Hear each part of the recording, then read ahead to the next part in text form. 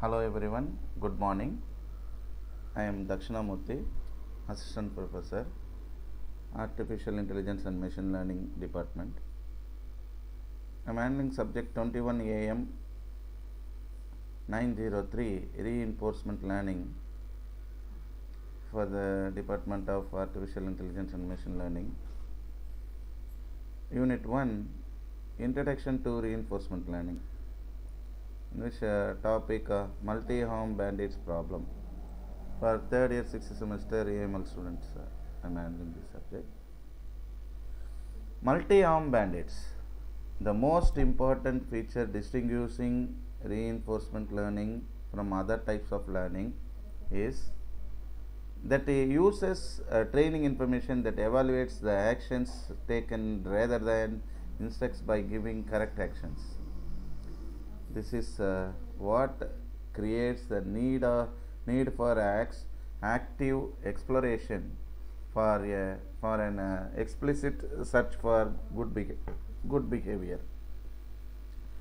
Purely evaluative feedback indicates how good the action taken was but not whether it was the best or the worst action possible.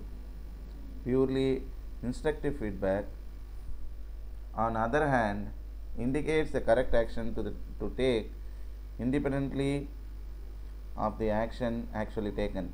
This kind of feedback is a basis of supervised learning which includes the large parts of pattern classification artificial neural networks and other uh, system identification.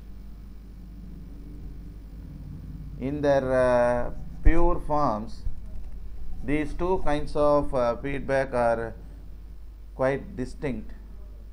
Evaluative feedback depends uh, entirely on the action taken, where uh, instructive feedback is independent of action taken. Incremental implementation, the action value methods, we have uh, discussed so far for all the estimate action values as sample averages of the observed rewards. We now turn to question of how these averages can be computed in a computationally efficient manner in particular constraint memory and a constraint per time step computation. To simplify notation we concentrate on a single action. Let uh, ri now denote the reward received after the ith selection of the this action.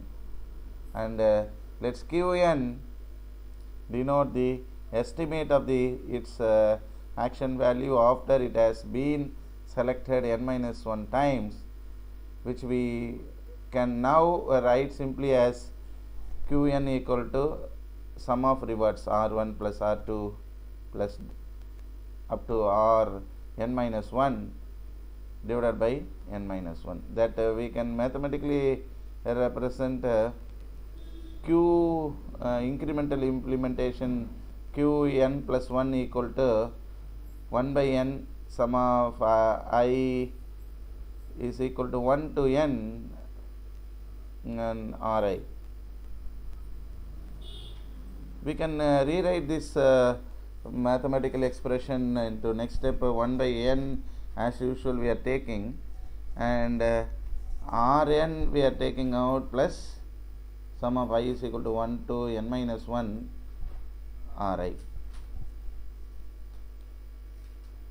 this once again we can rewrite in expand expanded format 1 by n of rn plus I am multiplying and dividing n minus 1 so that uh, what I am doing is uh, just uh, dividing ri divided by n minus 1 in addition to that n minus 1 I am multiplying okay? So now I am getting 1 by n of rn plus n minus 1 times of qn already you know 1 by n times of 1 by n of uh, uh, summation i is equal to 1 to n ri is qn. Here we are replacing 1 by n minus 1 sum of i is equal to 1 to n minus 1 ri is qn. So we are replacing that. Now I am multiplying uh, qn with the n minus 1 then I am getting 1 by n of rn plus nQn minus qn.